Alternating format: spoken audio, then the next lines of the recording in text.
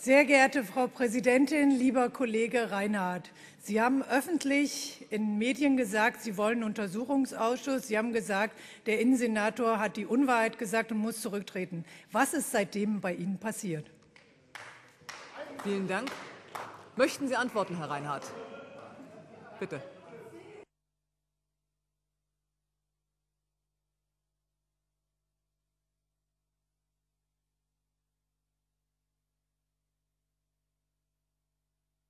Ja eh schon mit einer äh, Zwischenfrage von Ihnen gerechnet, aber können wir auch jetzt gerne so machen.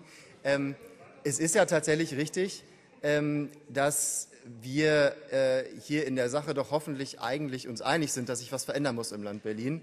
Und deswegen ist es natürlich auch sinnvoll, dass wir hier diese Anträge eingebracht haben. Und ich habe mich schon, fand das schon etwas schade, dass wir jetzt, anstatt über diese Sache zu reden, uns tatsächlich, und da hat ja die SPD-Fraktion auch zum Teil recht, in diesen, uns in diesen förmlichen, formalen Fragen jetzt hier bewegen und diskutieren müssen, anstatt uns einfach mal wieder auf das Wesentliche zu konzentrieren, nämlich auf die Abschiebepraxis im Lande Berlin, auf die absoluten Missstände, die hier herrschen und auch über die Probleme in der Ausländerbehörde.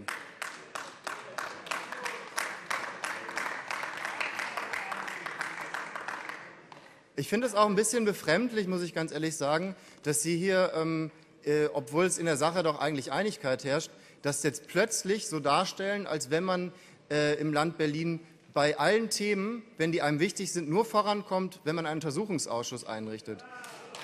Es ist ja es ist ja jetzt auch nicht gerade so, dass die Piratenfraktion geizen würde mit Untersuchungsausschüssen. Wenn ich mich, wenn ich mich da richtig äh, entsinne, haben wir den Untersuchungsausschuss zum BER maßgeblich mit vorangetrieben. Und beim Staatsopernuntersuchungsausschuss saßen wir auch letztendlich da und haben den Einsetzungsbeschluss geschrieben. Also es ist jetzt auch nicht so, als wenn wir da irgendwie äh, ständig kneifen würden. Ähm, wenn, das, wenn das so wäre, liebe grüne Fraktion, dann muss ich mich tatsächlich noch mal fragen, warum Sie denn unserem Untersuchungsausschuss im Bereich äh, ähm, Lageso und im Bereich ja, das ist schön, dass Sie das jetzt hier abstreiten.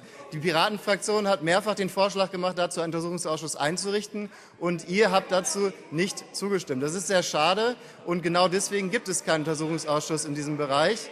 Und genau deswegen können wir jetzt nicht in diesem Untersuchungsausschuss in dem Bereich forschen und schon erste Erkenntnisse haben. Und genau deswegen müssen wir uns jetzt auf diesen Wirtschaftsprüfungsbericht zurückziehen und dort nachlesen, was wir schon längst selbst hätten eigentlich erkunden können. Also es ist schade, dass Sie jetzt genau in dem Bereich plötzlich sagen, da muss es unbedingt sein, während in allen anderen Bereichen das nicht notwendig ist. Also diese äh, Doppelmoral ähm, finde ich an der Stelle etwas fragwürdig. Die Piratenfraktion die Piratenfraktion hat sich an der Stelle klar positioniert. Wir wissen, was schiefläuft. Wir wissen, wie wir das ändern wollen, haben dazu Anträge eingebracht. Und wir hoffen natürlich auf die Unterstützung der Grünen Fraktion in dem Bereich. Dankeschön.